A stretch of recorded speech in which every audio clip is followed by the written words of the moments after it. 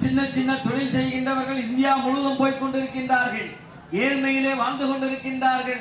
அவர்களிடம் சென்று உன் பிறந்த தேதி என்று சொன்னால் கேட்டால் கூட பாதி பேர் தெரியாது அவங்கள் அப்பா பேர் என்ன அம்மா பேர் என்ன அவர்கள் பிறந்த தேதி என்று சொன்னால் யாருக்கு தெரியும்?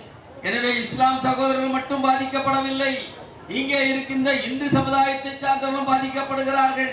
கிறிஸ்தவ சமுதாயத்தை சார்ந்தவர்களும் பாதிக்கப்படுகிறார்கள். புத்த மதத்தை சார்ந்தவர்களும் பாதிக்கப்படுகின்றார்கள் சிங்கினத்தவர்களும் பாதிக்கப்படுகிறார்கள். எனவே நாமெல்லாம் ஒன்று சேர்ந்து இந்த கொடுமையான ஆட்சியாம் மோடியின் ஆட்சியை நாம் விலகு விலக்க வேண்டும். அந்த விலக்குவதற்கு நாம் பாடுபட வேண்டும். இந்த சட்டம் உடனடியாக வாபஸ் பெற வேண்டும் என்று மார்ச் இரண்டாம் தேதி மீண்டும் பாராளுமன்றம் கூடுகிறது.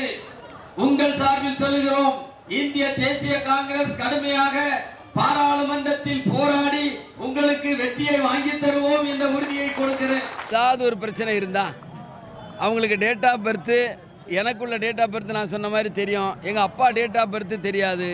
எந்த ஊரில் பிறந்தாங்க எந்த ஊரில் வளர்ந்தாங்கன்னு யாருக்கும் தெரியாது. இது இஸ்லாம் சகோதரர்களுக்கு மட்டுமல்ல சாதாரண எஸ்சி எஸ்டி மக்கள் மலைவாழ் மக்கள் சமுதாயத்தில் அடித்தளத்தில் இருக்கின்றவர்களுக்கு அதெல்லாம் இருக்காது. அப்போ அவங்கக்கிட்ட போய் உனக்கு டேட் ஆஃப் பர்த்னாலே பாதி பேருக்கு தெரியாது. உங்கள் அப்பா எப்போ பிறந்தாருன்னு சொன்னால் அது தெரியாது. அப்போ அவன் இந்திய குடிமகன் இல்லையா?